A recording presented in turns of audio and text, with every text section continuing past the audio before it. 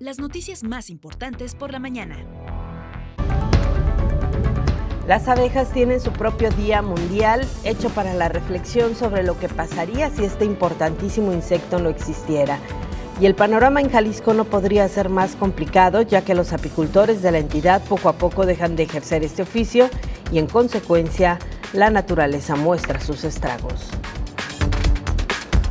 En 2022 se recibieron un promedio de 60 llamadas al día al 075, la línea de atención en crisis en donde el personal que trabaja día y noche todos los días del año escucha historias de tristeza, desesperanza, violencia, rabia y violencia. La región de los Altos de Jalisco vivió un fin de semana complicado debido a la violencia.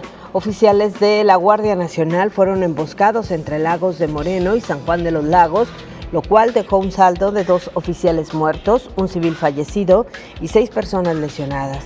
El refuerzo de seguridad lo notaron miles de habitantes del área metropolitana de Guadalajara que observaron los sobrevuelos de las unidades del ejército para acudir a intensificar la vigilancia hacia esa zona. Más de 53 mil aspirantes presentaron este fin de semana su examen de admisión para la licenciatura en la Universidad de Guadalajara. Fue 95.65% de quienes hicieron el trámite para el ciclo escolar 2023B. El dictamen de admisión se publicará el miércoles 9 de agosto.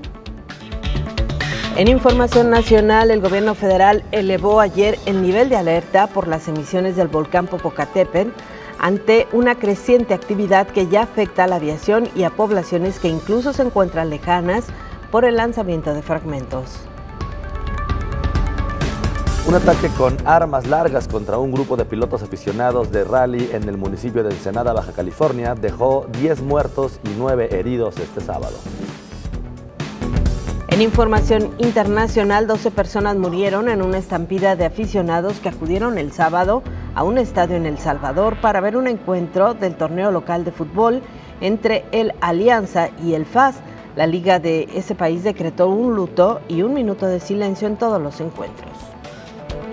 El presidente ucraniano Volodymyr Zelensky desmintió ayer que Bakhmut, en el este de su país, haya sido capturado por Rusia, tal y como reivindicó Moscú horas antes.